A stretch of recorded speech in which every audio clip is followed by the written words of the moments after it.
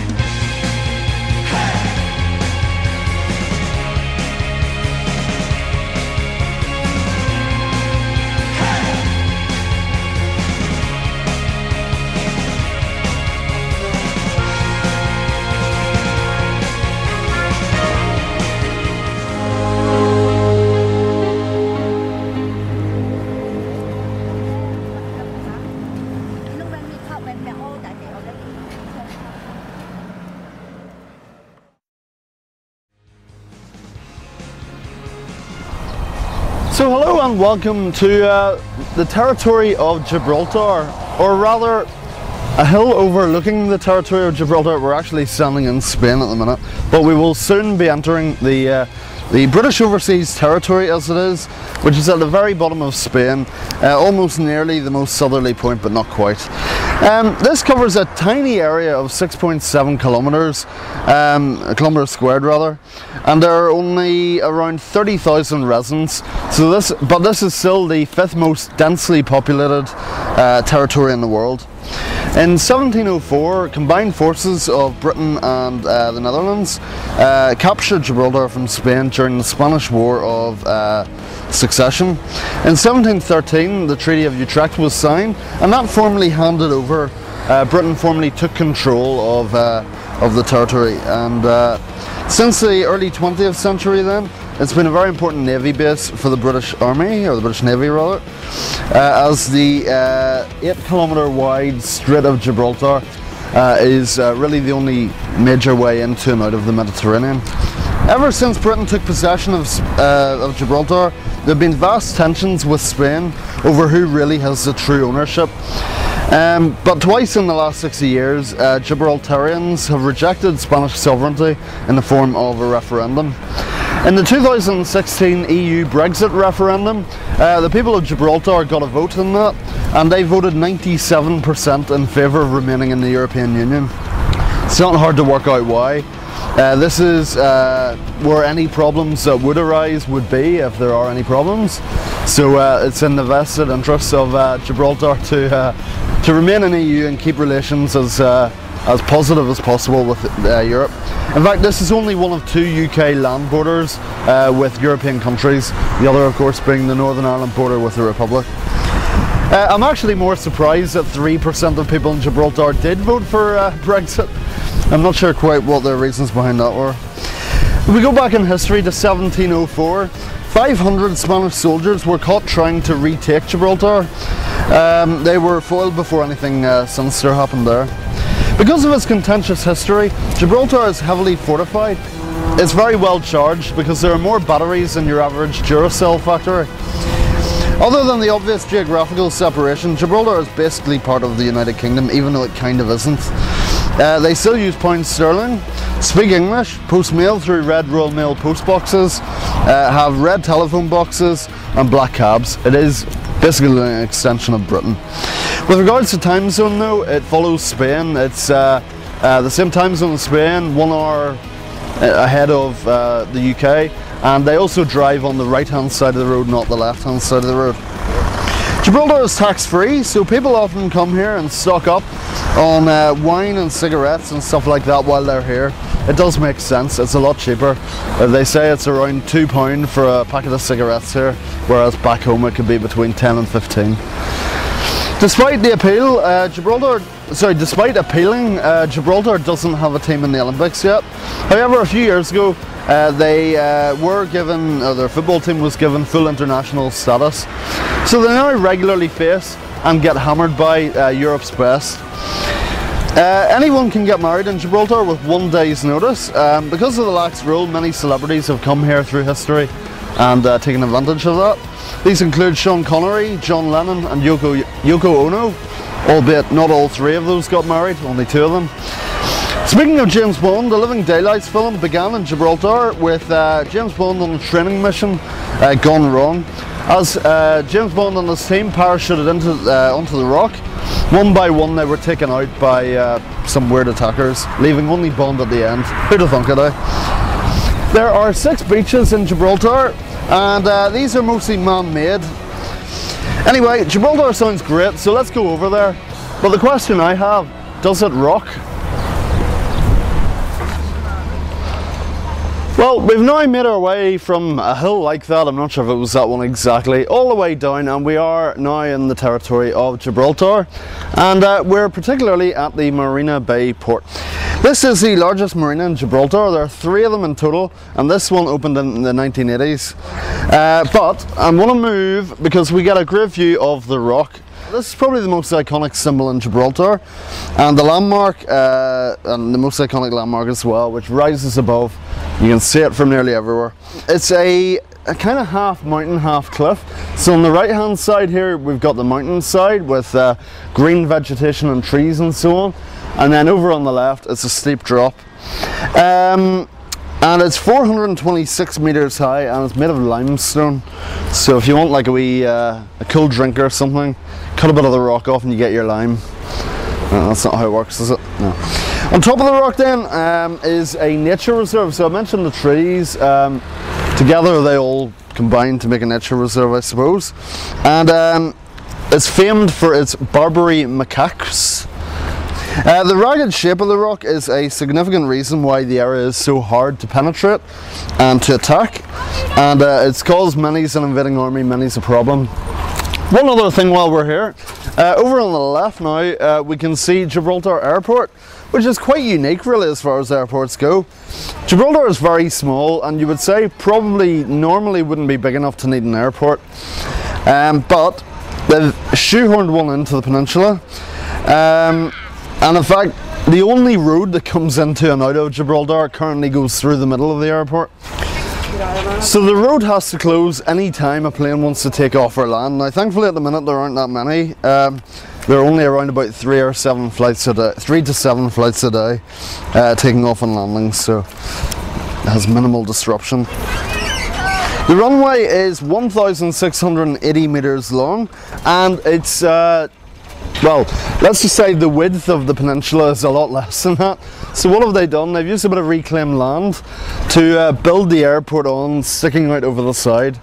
So you've got the end of the runway jutting out into the sea, which, uh, yeah, it makes um, descents probably a bit scary and taking off a bit scary, if anything is uh, likely to happen there.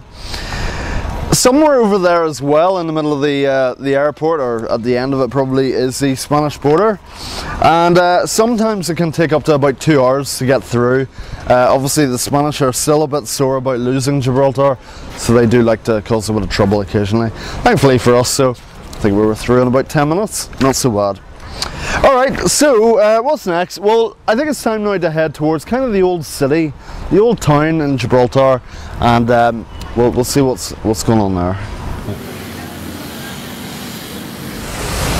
Well, we've done a little bit of faffing around on the outside of Gibraltar so far, but it is time now for us to enter properly, that is. And uh, to do so, we arrive at our first gate, um, possibly the only gate, I'm not quite sure there, but this, uh, in Spanish, they would call this the Casamatas gate, but uh, they speak English here, so I'm going with the English. We'll call it Casemates, because nice name. Uh, the Grand Casemates Gate, that rhymes, on the site of the Watergate. Right, so um, we've got two arches, two main arches, and then two secondary arches, uh, one on either side. And uh, these were all um, originally the entrance to the city's fortifications. Uh, they were built then uh, just before, just after the British takeover of the 1700s. And uh, they're just to be known as the Watergate, and the reason for that, uh, they originally uh, had um, a shipyard nearby, and uh, the galleys would have been brought up through a gate into the city after they had them out on the water. Now at that time, that was around about the 15th century. This gate wasn't here then, it was a different one, but uh, obviously the name stuck, and uh, the Watergate. On the site of the Watergate, that was the Watergate. That's now the Casemates Gate. Uh, in times of attack, then there was a curfew in force, and uh, you see some big wooden doors there in the middle, and they would have been locked at night to stop anybody getting in or out of the city. Uh, probably that would have been a bit of a pain for people on the inside because, um, well, you're kind of a bit cut off from civilization, aren't you, on this uh, this uh, peninsula? So anyway, I'm sure they got used to it, and it was all for uh, for war and staying safe and all that side of things. Anyway, just through there, then we'll come to the main square. But what does the name Gibraltar mean, and where did it come from? Time now to find out.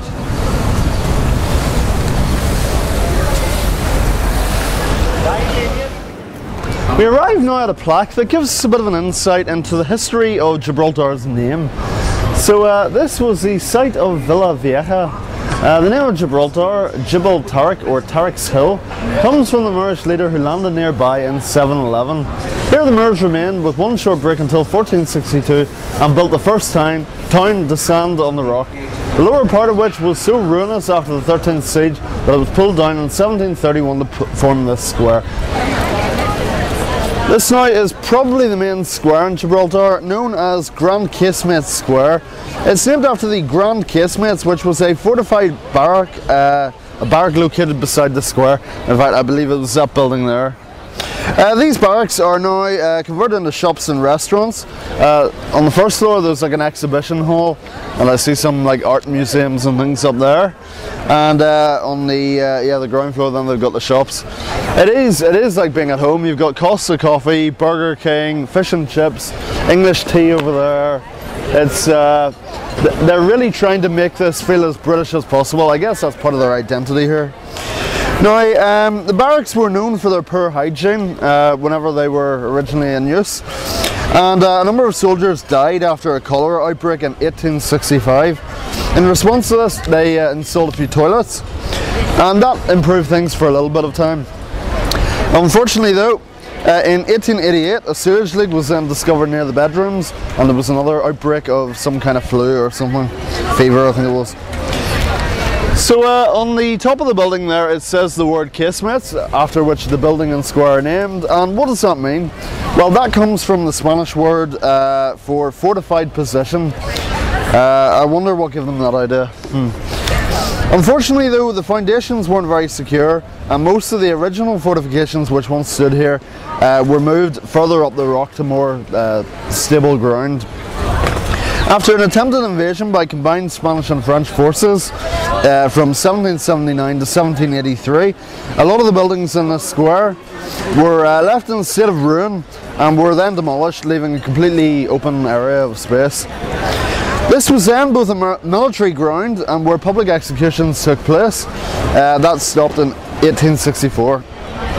20 years ago, the square was nothing more than a car park, but they've uh, spruced it up a little bit injected a lease of life. And while it is a little bit on the tacky side um, it is one of the places uh, the best places to hang out. And you can see that from all of the tables and chairs left around the square. Um, concerts and celebrations also take place here and that's class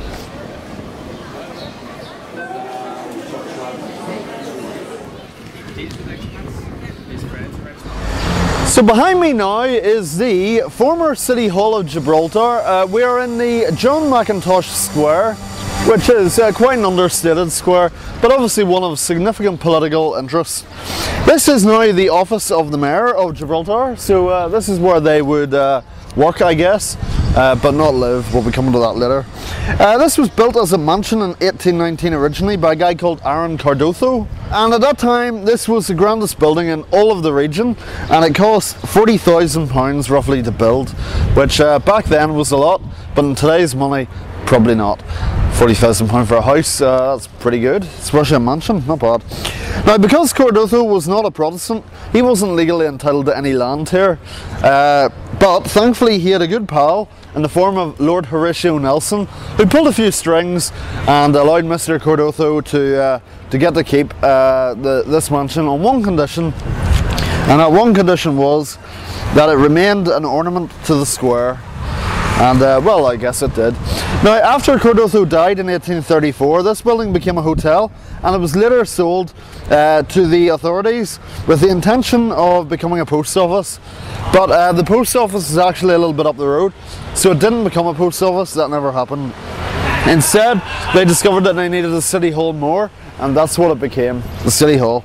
And uh, thankfully, it says city hall on it, just so there's no doubt.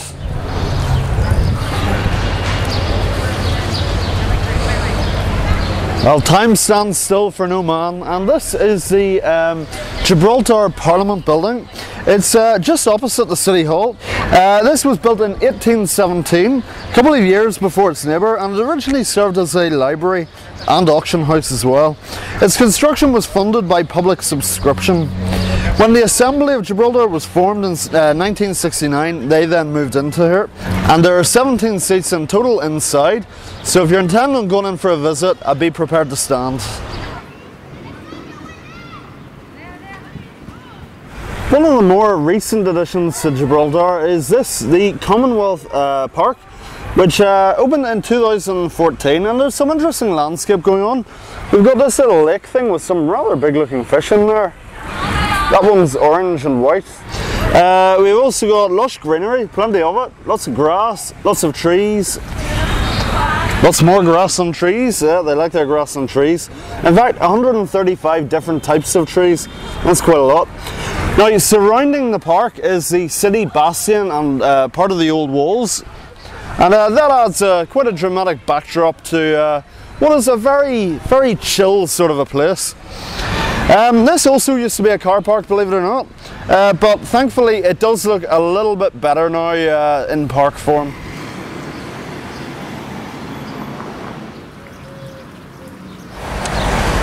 Now at the city, or well the territory of Gibraltar's South Bastion, uh, which is this wall behind, it's cleverly marked with the South Bastion sign on the wall.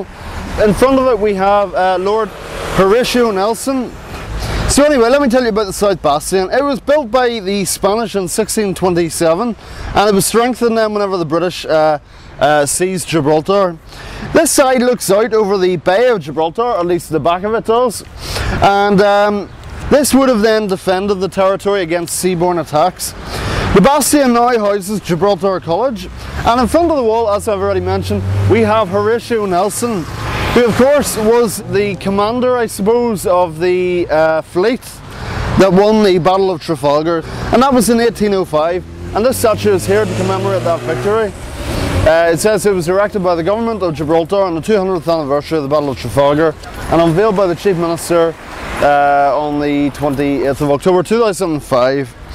So um, yes, and this apparently is how he looked during his last visit to Gibraltar, uh, not long before he died. In fact, the poignant thing about this statue is that it was built using, or sculpted using copper that had been taken from the HMS Victory, which of course was the aptly named ship that, um, that he captained during that battle. Hats off to him, that's a great statue. So uh, we're now on the Gibraltar cable car, which is taking us to the very top of the rock. Um, and uh, the cable car itself was built in 1966 for the first time by Von Roll Holding, and it replaced a much older system that transported supplies up and down the rock. In 1986, the cabins were replaced with more modern cabins that we see today. And the cable car stops about halfway up at the Apes. The line is 673 metres long in total, and each car has a capacity of 30 people. I think we've only got about 10 on this one. Uh, the cars travel at a speed of 5 metres per second, which isn't very fast, considering that the average human walks around 3 metres per second. The journey lasts for 6 minutes in total. But, uh, we get some lovely views here. And, uh, well, the sun reflecting off the, uh, the bay there, very dramatic. Look how big the port is as well. Up on top now of the uh, the cable car line, and uh, let's say 360. deg- Well, it's not really a 360 degree. It's kind of nearly an panoramic. Okay, viewing platform looking over the rock. Down here, then we have the old town area, kind of of Gibraltar with uh, of course the very dramatic airport in the background and really up here you get the extent of how far it sticks out into the sea Uh, yeah, you definitely wouldn't want to get that landing wrong. And uh, over here then, the actual, the top of the rock. Now I've got some stats here. The, uh, the rock of Gibraltar is say around about 450 metres above sea level. To put it into perspective, the Leaning Tower of Pisa is 55, the Pyramids of Giza 138, the London Eye 135, Eiffel Tower 324, the Empire State 381, and some building in Dubai, that sail-like building, uh, 321. So uh, this is bigger than all of those buildings, and uh, the Shard in London's a bit less than that as well. Yes, lots of ships down the harbour, and that reminds me to talk about the port, which is, uh, funny enough, right in front of us. It's almost like we've planned it. This port played a very significant role in the Napoleonic Wars, and in the 19th century, it supplied ships that headed to India. Through history, this port has arguably been the most valuable thing in Gibraltar, as from here, ships coming in and out of the Mediterranean were controlled. The port was considerably expanded by the British after they took hold of Gibraltar. Queen Anne made this a free port, making it tax free, and that really boosted Britain's international trade. Ships came here then from all over the world. An estimated 301,000 passengers and 212 cruise ships come into this port every year. Uh, well, I guess that's an average. Is that a cruise ship? It just looks like a toy boat from up here. Coming through the gate, uh, what is the name of this gate? It is the Queen's Gate uh, because it was uh, Philip II of Spain called himself King of England after he married Mary Tudor and uh, the Queen's Gate was cut through 1790. Anyway, Queen's Gate, there we have it. And this is the entrance to the Ape's Den. And uh, of course, uh, Gibraltar is known very much for its Barbary macaques. Uh, similar but not quite the same as apes. Now in the early days of the British garrison, some of these were imported all the way from North Africa and quickly made home in the rugged landscape here. This is the only population of wild monkeys in Europe and there are a few interesting stories about their origin. Some think they even came through a subterranean tunnel, but uh, the other legend is that when these macaques leave Gibraltar, so too will the British that could be a while yet. Now, after the last war, the numbers of the apes or macaques had dropped all the way, uh, and they were nearly kind of extinct in this particular colony. So, um, thankfully, somebody intervened, and that somebody was Winston Churchill, who imported even more from Morocco, which is just over there. Uh, the numbers then are now thriving and uh, they're growing all the time and there are just hundreds of these things running around all around you here. Now some local um, uh, historian commented that from the Moors to the Spanish to the British, the cannons and even all the bombs that went off here, nothing can get rid of these monkeys. Uh, now this is the Den which is their main home. It goes from here all the way up this hill they are, and they're not even confined to this den, they are free to roam Gibraltar. Some of them have even been spotted in the town centre over the years. Uh, and they cause mischief wherever they go as well, that's the other thing. The locals call them monos, meaning monkeys in Spanish. Uh, it's actually illegal to feed these monkeys. Uh, you could be slapped with a fine of up to £4,000 uh, if you're caught, which seems very excessive in my opinion, but anyway, I'm sure there's a reason for that. As you would expect, particularly from wild animals, uh, there are quite a lot of cases of people getting hurt uh, by the monkeys intervening and uh, I suppose if you act like a monkey you probably get what you deserve there. So let's go up this uh, interesting staircase and at the top there's a monkey there and at the top we will see uh, a nice view I hope.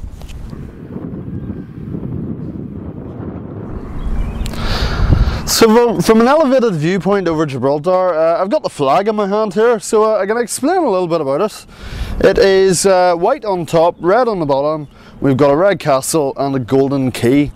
Now, uh, this is the only British overseas territory that doesn't have the Union flag in the corner.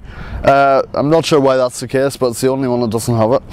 Uh, the castle doesn't actually represent any particular castle in Gibraltar, but it indicates how the city or the, the territory uh, was once heavily fortified, and there would have been many castles here over through history and whatnot.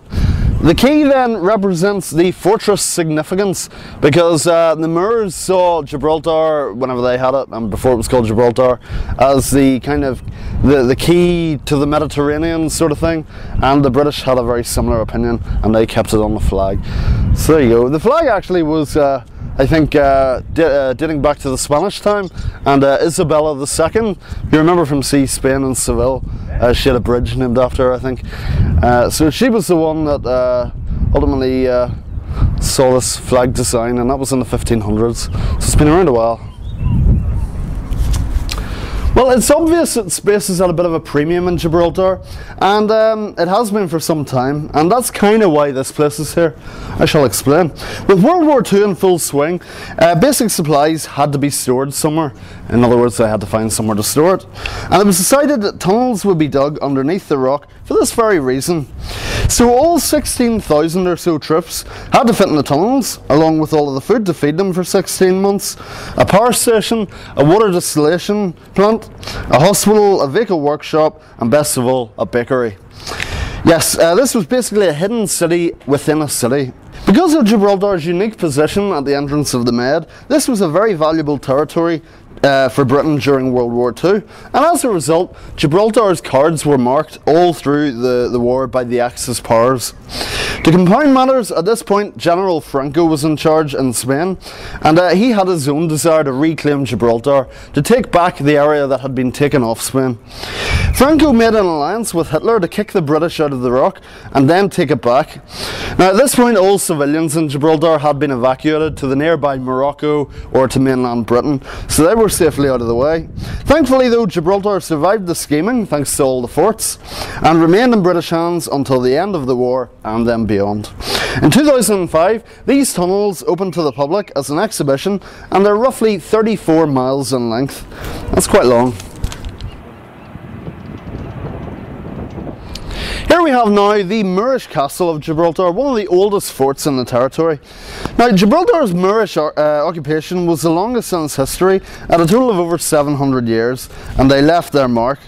Now it's thought that the castle was built in the year 711 just after the Moors invaded. It took 20 years for them to build. After taking control here, the Moors spread out and then went on to seize much of Spain and France. Unfortunately, what is left of the Moorish castle and what we see in front of us is uh, not original. This bit was rebuilt uh, in the early 14th century. In more recent times, this is uh, held the city prison and uh, it, it, vacated in 2010. Uh, it's another pretty famous landmark in Gibraltar and it features on their version of the £5 banknote. This is another very new landmark in uh, Gibraltar. In fact, it only opened, well, a few years ago. Anyway, it is uh, the Windsor Suspension Bridge is the proper name, and uh, it's a bridge and it's suspended, and it's a suspension bridge. That's kind of where that comes from. 71 meters long, 50 meter deep. Ooh, and there's a gorge beneath.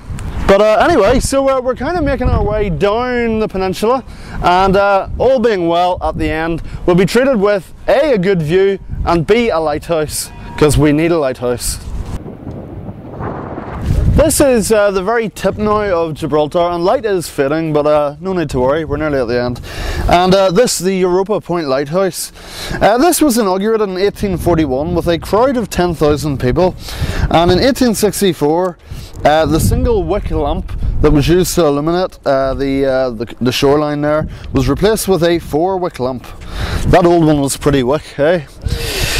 Uh, it's been upgraded a few times since then as well, not least when it became fully automated in 1994. It is operated by Trinity House and that's why it's also known as Trinity House Lighthouse. Uh, and the lighthouse is 20 metres high and a white light shines every 10 seconds. Been here a minute now and I haven't seen it once. Um, anyway, maybe it's only whenever it gets dark. Recently, plans were unveiled to build a new national football stadium nearby here, and if this goes ahead, this lighthouse will have to be decommissioned um, because the stadium will block the, the beam. Uh, if that happens, uh, the new beacon will be placed on top of the stadium, and that is all good. Let's go round now the corner and we'll get a good view to finish. Well, I've always wondered what it would be like to look down the barrel of a gun. Now I know.